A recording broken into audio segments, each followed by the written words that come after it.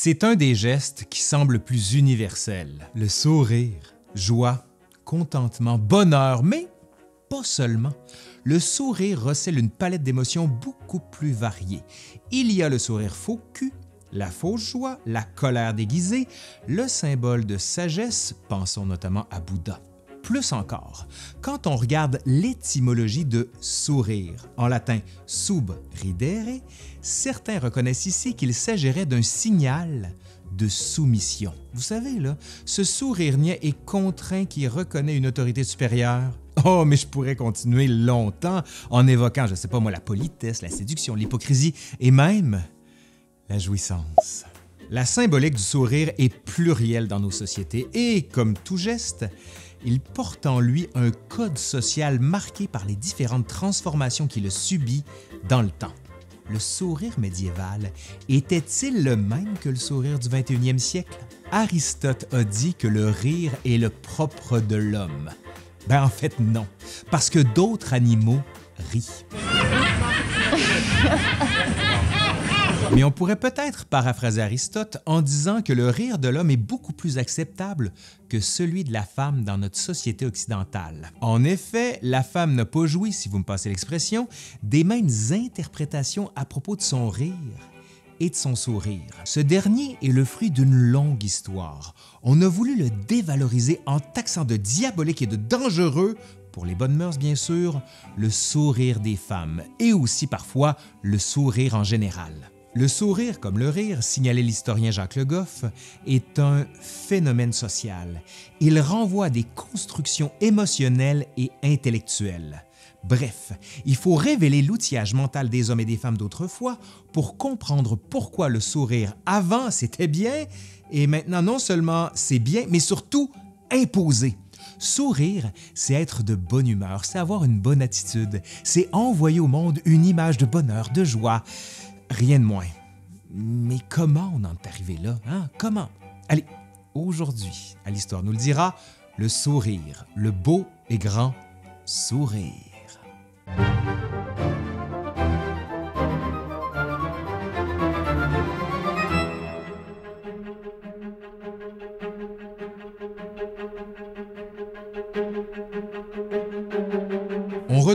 Très peu de rire dans les Saintes Écritures, mais il y a tout de même un épisode qui permet d'éclairer le rapport trouble entre les femmes et le rire. Cet épisode, c'est celui d'Abraham et de Sarah. Pour celles et ceux qui l'ignorent, nous sommes ici dans la Genèse, alors que Yahvé fait annoncer par des anges au couple formé d'Abraham et de Sarah qu'ils porteront un fils qui va donner une postérité énorme au couple.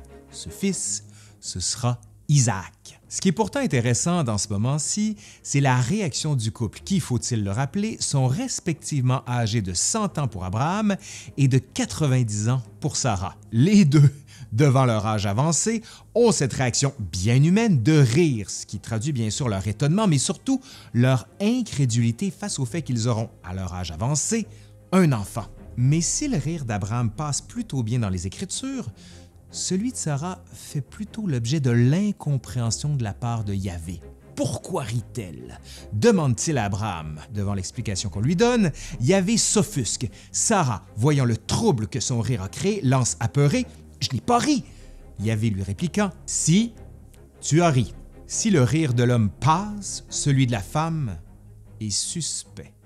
Plusieurs exégètes au Moyen Âge, ceux dont la fonction est d'analyser les Écritures, fustigeront longtemps Sarah pour son rire irrévérencieux. Un de ceux-là, Alcuin, rapporte que le rire d'Abraham est plein d'émotion et de joie, alors que celui de sa compagne serait plutôt railleur, plein de dérision, voire un rire diabolique qui aurait déplu à Dieu. Ainsi, dès la Bible, on retrouve un arsenal théorique pour fustiger le rire des femmes, considéré comme immoral et dangereux.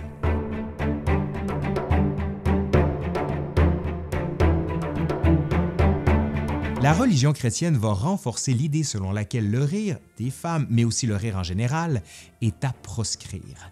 Les saints et les saintes vont incarner ce modèle, ainsi que le rapporte Jacques de Voragine dans sa légende dorée au 13e siècle. Quand il parle de Saint Bernard, il dit, et je le cite, Il ne riait jamais, au point qu'il devait se faire plus de violence pour se forcer à rire que pour se retenir, et dans ce domaine, il lui a donné de l'aiguillon beaucoup plus que du franc. Pour Saint Basile au IVe siècle, la règle est on ne peut plus claire, et je cite il est donc évident qu'il n'y a jamais pour le chrétien de circonstance où il puisse rire. Comme la Vierge, la femme ne peut ni ne doit rire, et encore moins sourire. Conformément à l'idéal religieux, les jeunes filles ne doivent pas se montrer avenantes, le sourire étant considéré comme un encouragement au dévergondage. Celle qui rit est une fille publique, une prostituée. Son sourire est une invitation au plaisir hors mariage, donc au dévergondage, à l'excès, au laisser-aller, à l'éloignement de la décence chrétienne. Dans le roman de la Rose au 13e siècle, on lit que, et je cite, La femme doit rire à bouche close. La bouche est fortement connotée dans la société et l'art s'en fait le témoin. Elle est associée au péché originel, mais aussi à la gourmandise, tandis que la langue est le symbole de la lubricité. Faire un étalage de sa bouche, de ses dents et de sa langue n'est rien plus que la confirmation de l'acte sexuel à venir et donc fortement réprimé. C'est pas étonnant de voir ainsi l'art médiéval avec des personnages à la bouche close desquels se dessinent quelquefois de très très très rares sourires. Quand cela est, ce dernier est discret et respectueux, jamais outrancier, jamais de laisser aller. Sourire mais aussi rire, c'est un appel aux passions intenses qui emportent avec elles la raison et la décence. Pour avoir une bonne conduite, il faut modérer ses transports, donc contrôler ses émotions et la manière dont on les exprime et surtout dont on les montre. Tous les artistes ne se plient cependant pas à ces règles formelles. Certains, comme l'italien Giotto par exemple, montrent ce qu'il conviendrait de qualifier de légères contractions du visage. Entre la fin du Moyen Âge et le début de l'époque moderne, le mot sourire entendu comme prendre une expression rieuse commence à s'imposer en français. Notons qu'il s'agit originellement du sous rire, sorte de petit rire qui s'inscrit physiquement sur le visage de celle ou celui qui veut exprimer ses sentiments.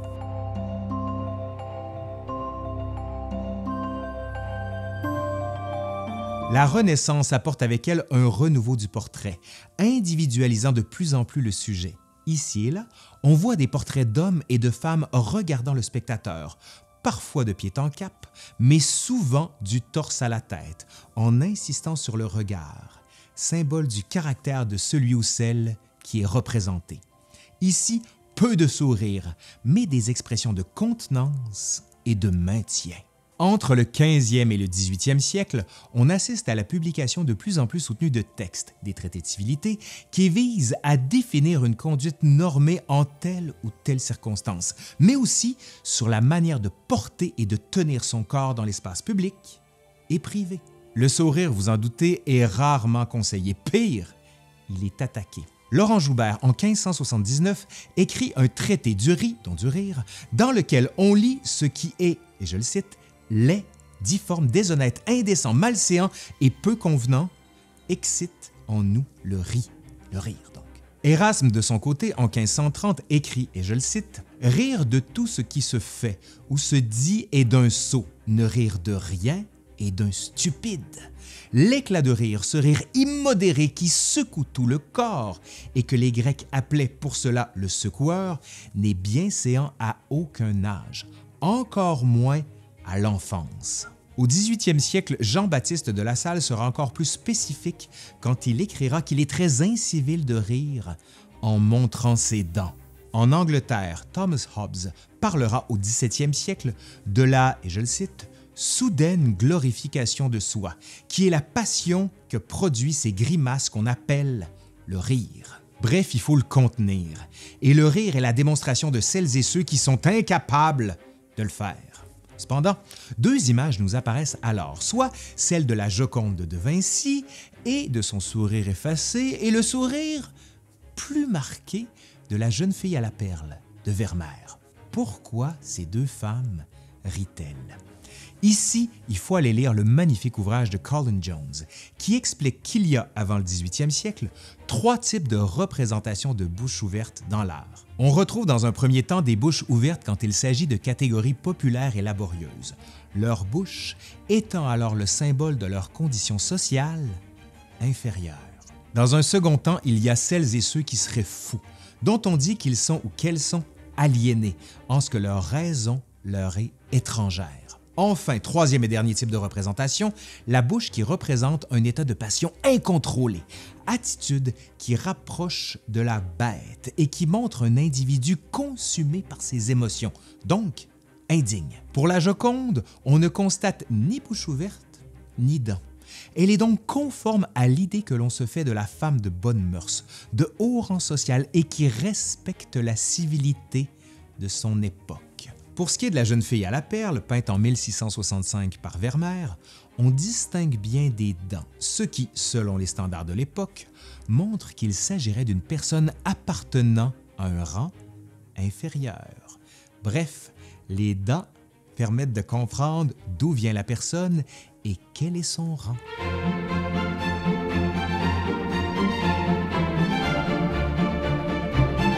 De deux portraits célèbres de femmes, passons, si vous le voulez bien, à un portrait d'homme bien connu, celui de Louis XIV, peint par Hyacinthe Rigaud en 1701, mais exposé à Paris au Salon en 1704. Ici, le regard fier et dominant du roi montre le rôle qui est le sien, régner. La gravité de son visage, confirmée par une bouche bien fermée qui n'esquisse aucun sourire, renforce encore plus cette idée. Non?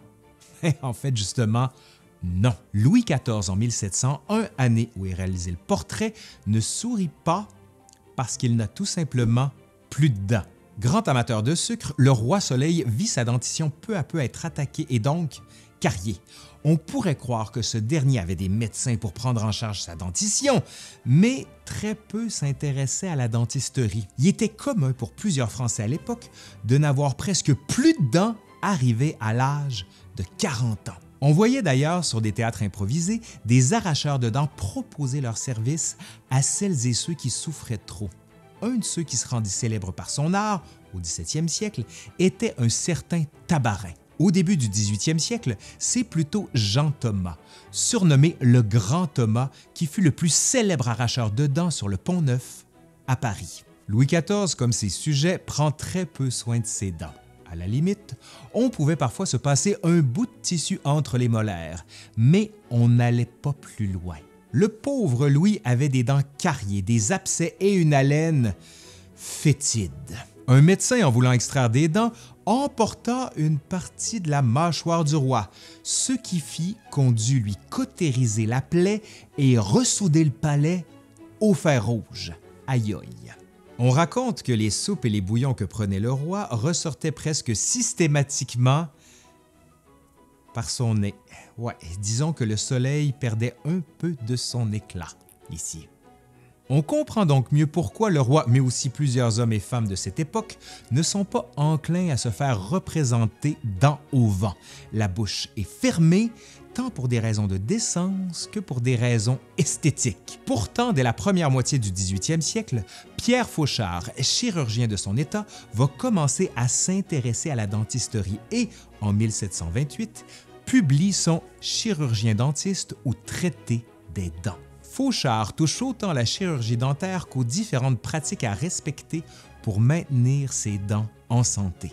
On parle bientôt de plombage, de transplantation de dents, de nettoyage ou de blanchiment. Lors des guerres, on n'hésite pas à arracher les dents aux morts pour les transplanter aux vivants, ainsi qu'on le pratiquera après la bataille de Waterloo en 1815. La brosse à dents devient l'objet par excellence pour se prémunir contre les caries, les abcès et la chute des dents.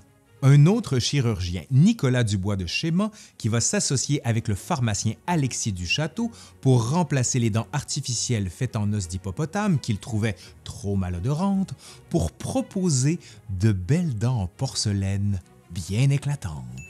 En 1816, Dubois de Chéman affirme avoir vendu plus de 12 000 dentiers en une dizaine d'années. Émerge celui qui est, dans les années 1760, qualifié d'expert pour les dents et qui sera bientôt appelé dentiste. Nombreux seront les traités publiés, comme celui de Claude Géroldi, L'art de conserver les dents en 1737, de Louis Lécluse, Nouveaux éléments d'ontologie en 1754, ou encore d'Anselme Jourdain, Traité des maladies et des opérations réellement chirurgicales de la bouche en 1778. Ces innovations techniques vont permettre aux dents de s'exposer un peu plus, car maintenant, on les a encore. Le 18e siècle va encourager encore plus le rire et le sourire. À la société du masque social qu'a été celle du 17e siècle, avec ses traités de civilité et sa contenance, qui ne devait pas laisser voir ses émotions, va succéder une époque où on glorifie les sentiments. Pleurer est une manière vraie et sincère de s'exprimer, mais rire et sourire également, d'autant plus que de plus en plus de gens possèdent des dents. La littérature comme l'art met de l'avant ce délice du sentiment. Des auteurs comme Samuel Richardson en Angleterre ou encore Jean-Jacques Rousseau se jouent de ces codes sociaux pour montrer la subtilité des sentiments sans nécessairement avoir à parler.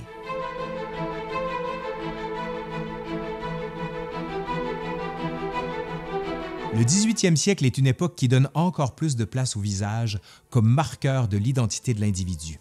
L'époque fait de cette partie du corps le siège de l'âme et donc de l'individualité. On remarque aussi que le visage est moins le miroir de l'âme que le lieu des expressions physiques des émotions. Ainsi, sourire devient une manière simple de s'exprimer. On assiste aussi à la montée de la physiognomonie, soit l'art de déchiffrer les langages du corps et d'établir des liens entre le caractère et la manière dont est fait le corps. Vous irez voir, j'ai fait une vidéo complète sur le sujet. Plusieurs peintres, comme William Hogarth par exemple, dans La marchande de crevettes, ou encore Antoine Watteau et même Georges de Latour, montrent des sourires.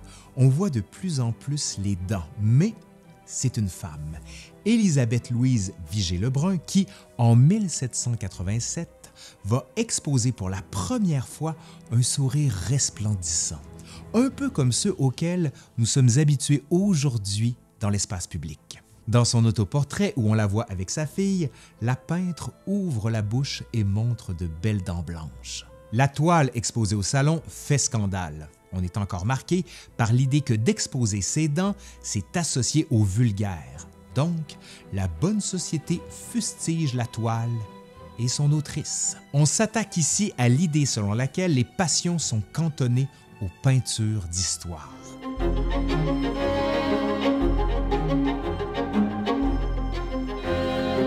Au 19e siècle, l'ordre moral bourgeois qui s'impose peu à peu va reléguer le sourire aux oubliettes, du moins pour un temps et pour certaines catégories de personnes. L'image d'une culture des loisirs et des divertissements qui s'étend de plus en plus donne à voir des rires et des sourires, comme dans les peintures des impressionnistes ou dans celles de Toulouse-Lautrec. Mais encore une fois, il s'agit d'un sourire populaire. Peu à peu, l'art de la dentisterie s'étend, mais pas nécessairement le sourire.